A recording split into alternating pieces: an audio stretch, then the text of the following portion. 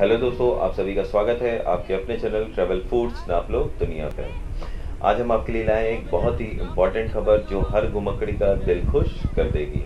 हाँ दोस्तों, हिमाचल ने आप सभी घुमकड़ों के लिए अपने सारे द्वार खोल दिए हैं। अब किसी भी प्रकार के ई रजिस्ट्रेशन व ई पास की ज़रूरत नहीं है यात्रा करने के लिए। दोस्तों, इसी के साथ हम आपके लिए लाए हैं हिमाचल प्रदेश के एक बहुत ही खूबसूरत गाँव की जानकारी जो हम आज आपको इस वीडियो के माध्यम से देने वाले हैं।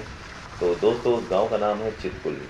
जी हाँ भारत का आखिरी गाँव चितकुल, जो कि हिमाचल के किन्नौर डिस्ट्रिक्ट में स्थित है। आज हम यहाँ के बारे में आपको पूरी जानकारी देने वाले हैं कि आप यहाँ कैसे जाएँ, किन साधनों से आप पहुँच सकते हैं, उसमें कितना खर्च आता है, व आप यहाँ पर कहाँ कहाँ ठहरें, व क्या क्या चीज़ें घूमें।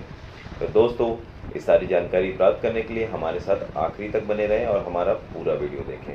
दोस्तों, इससे पहले आप हमारे चैनल को सब्सक्राइब करें और बेल आइकन को दबाना बिल्कुल भी ना भूलें। तो चलिए दोस्तों, हम आपको बताते हैं कि अगर आप चितकुल जाना चाहते हैं तो आपका जो नज़दीकी रेलवे स्टेशन है, वो है अम्बाला रेलवे स्टेशन। और दोस्तों, अगर आपका जो नज़दीकी हवाई अड्डा है, वो शिमला ही है और रोड अगर आप सड़क मार्ग से जाना चाहते हैं तो आपको शिमला होकर ही चितकुल जाना पड़ेगा। तो दोस्तों, जैसा कि हम हमने आपको बताया, हम भी, हम बाय ट्रेन चितकुल जाने के लिए निकले थे और हमारी ट्रेन अम्बाला स्टेशन पे आकर रुकी। यहाँ से दोस्तों, हमने करीबन छब्बीस सौ रुपये में एक इनोवा करी। हम छः लोग थे इसमें दोस्तों, और हम लोग ने शिमला के लिए, और करीबन शिमला हम लोग चार घंटे में शिमला पहुँच गए। दोस्तों, हमारी ट्रेन दोपहर में 12 बजे आई थी और हम शिमला लगभग चार, साढ़े चार बजे के आसपास पहुँच चुके थे। हमने पहले से कोई होटल बुकिंग नहीं की थी। हमने यहाँ पर होटल ढूंढा और हमें मात्र छः सौ रुपये प्रति रूम के हिसाब से हमने दो कमरे किराए पर ले लिए और हम लोग उसी में एडजस्ट हो गए। दोस्तों, अगर आप चितकुल जाना चाहते हैं तो यहाँ से एचआरटीसी की बसें भी जाती हैं, जो कि अर्ली मॉर्निंग निकलती हैं। लेकिन दोस्तों, हम आपको बता दें कि अभी एच की बसों को खोला नहीं गया है, अभी उनकी सेवाओं को बंद ही रखा गया है। दोस्तों, हम आपको बता दें कि जो चितकुल भारत का आखिरी गाँव है, वो शिमला से करीबन 250 किलोमीटर दूर स्थित है। तो दोस्तों, अगर आप बाई रोड जाते हैं तो आपको 250 किलोमीटर का सफ़र तय करना पड़ेगा और ये काफ़ी लंबा सफ़र है, आप इसमें एक दिन में यहाँ नहीं पहुँच सकते हैं। कम से कम आपको यहाँ पर दो स्टॉपेज लेने पड़ेंगे, एक सांगला वैली में और दूसरा कल्पा में। फिर तीसरे स्टॉपेज पे आप चितकुल पहुँच सकते हैं। वैसे आप सांगला स्किप भी कर सकते हैं, लेकिन अगर आप वहाँ जाना चाहते हैं तो मैं ये कहूँगा आप सांगला भी रुकें और एक रात कल्पा रुकें और उसके बाद आप चितकुल जाएँ। लेकिन दोस्तों, उस टाइम हमने अपनी इस चितकुल की पूरी यात्रा और वापस अम्बाला तक छोड़ने के लिए एक टैक्सी मात्र सोलह हज़ार रुपये में बुक कर ली थी। तो सबके ऊपर कम से कम दो से ढाई हज़ार रुपये का बर्डन आया था। लेकिन दोस्तों, हम रात को नहीं निकल सकते थे क्योंकि ये रास्ता जो है कि वर्ल्ड का कहा जाता है, सबसे डेंजरस रोड रोड्स में से एक है। इसलिए टैक्सी वाले ने हम लोग को सुबह चार बजे, अगले दिन सुबह चार बजे निकलने को लिए बोला था। तो दोस्तों, वो शाम हमने शिमला में ही मॉल रोड को घूम कर बिताई और वापस रूम में आकर सो गए। सुबह दोस्तों, हम लोग तीन बजे ही उठ गए थे और हमारी टैक्सी भी साढ़े तीन बजे के आसपास मॉल रोड से नीचे आकर खड़ी हो गई थी। तो दोस्तों, हम लोग चार बजे यहाँ से निकले और हमारा जो प्रोग्राम था दोस्तों वो चार दिन और तीन रातों का प्रोग्राम था। हमें दोस्तों एक दिन सांगला रुकना था, एक दिन कल्पा रुकना था और एक दिन चितकुल घूम के हमें रास्ते में कहीं रुकना था, क्योंकि चितकुल में ऐसा वहाँ बताते हैं, ऐसा मौसम होता है कि आप ज़्यादा, अगर रुक गए तो फंस जाएँगे। अगर आपके पास टाइम हो तो ही रुके। तो हमारे पास टाइम नहीं था, इसलिए हम चितकुल घूम के वापस कहीं ऐसी जगह रुकना चाहते थे जहाँ से हम अपनी ट्रेन को हम पकड़ सकें। तो दोस्तों, हमारा सफ़र शुरू हो चुका था। तो हम सुबह चार बजे के चले चले पूरे जो इसका जो रास्ता है नारकंडा होते हुए हम लोग गए थे नारकंडा ना अपने नाम सुना होगा बहुत ही अच्छी प्लेस है अभी रास्ता जो है वो बहुत ही अद्भुत है। आ, आपको बिल्कुल भी बोरियत महसूस नहीं होगी।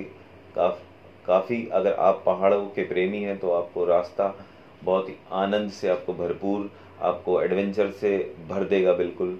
और आप हिमाचल में ही पूरी तरह से हिमाचल के पहाड़ों में खो जाएँगे।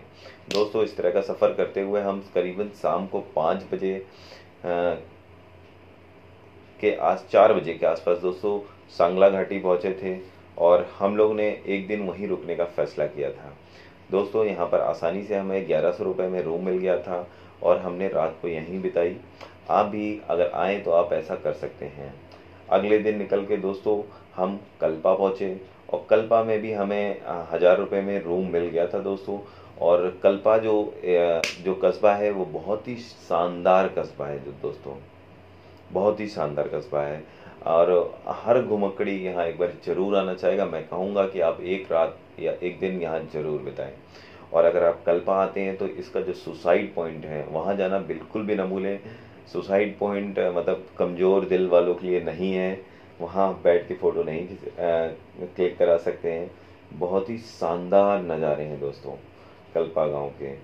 फिर दोस्तों, आप वहाँ पूरी तरह से हमने वहाँ रात बिताई और फिर हम अगले दिन सुबह उठकर अर्ली मॉर्निंग में करीबन छः से सात बजे के बीच में चितकुल के लिए निकल गए थे। तीन से चार घंटे की जर्नी के बाद हम दोपहर में पहुँचे दोस्तों चितकुल और चितकुल दोस्तों पहुँचते ही, समझ लीजिए हमारा मतलब आँखें फटी रहेंगी कि मतलब ऐसी भी दुनिया में कोई जगह होती है क्या? एक तो चित जब आप चितकुल जाएँगे तो आपको तीन चार जगह बीच में चेक किया जाएगी क्योंकि आ, मैं चितकुल बिल्कुल इं, इंडिया के बॉर्डर इंडिया चाइना के बॉर्डर पे है। तो आई आपको कई जगह चेक करेगी और आपका नाम वगैरह भी नोट करेगी। तो दोस्तों आप उसमें घबराए नहीं बिल्कुल। तो ऐसा होता है जाते वक्त। और दोस्तों सबसे बड़ी बात है कि हम लोग करीबन मार्च में यहाँ गए थे। मतलब दो हज़ार उन्नीस मार्च में। ले, लेकिन आप ये समझिए उस समय भी हमें स्नोफॉल मिला था वहाँ पर मार्च में। बहुत ही सुंदर नज़ारा था। हम नीचे बर्फ़ में उतरे काफ़ी देर हमने खेला। फिर जैसा कि हमारे पास हमारी ट्रेन बुक थी इसलिए ड्राइवर ने कहा था कि अगर यहाँ रुकते हैं तो हम आगे फंस भी सकते हैं और वाकई बहुत ही नैरो रोड्स हैं बहुत ही मतलब एक बार में एक ही गाड़ियाँ निकल सकती हैं। इसलिए हमने दो तीन घंटे एंजॉय करने के बाद वहाँ से निकलने का फैसला किया। लेकिन दोस्तों, हम आपको बता दें, अगर आप चितकुल जाते हैं तो ज़रूर से ज़रूर समय लेकर जाएँ और एक दिन जो बपसा नदी उसके किनारे बहती है, वहाँ पर कैंपिंग करना बिल्कुल भी ना भूलें दोस्तों। वहाँ ज़रूर से ज़रूर कैंपिंग करें। आपको इससे ज़्यादा आनंद की प्राप्ति और किसी में हो ही नहीं सकती है दोस्तों।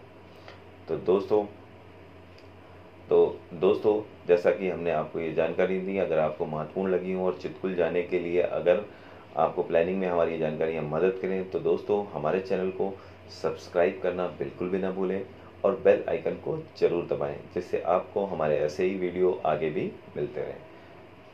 Thank you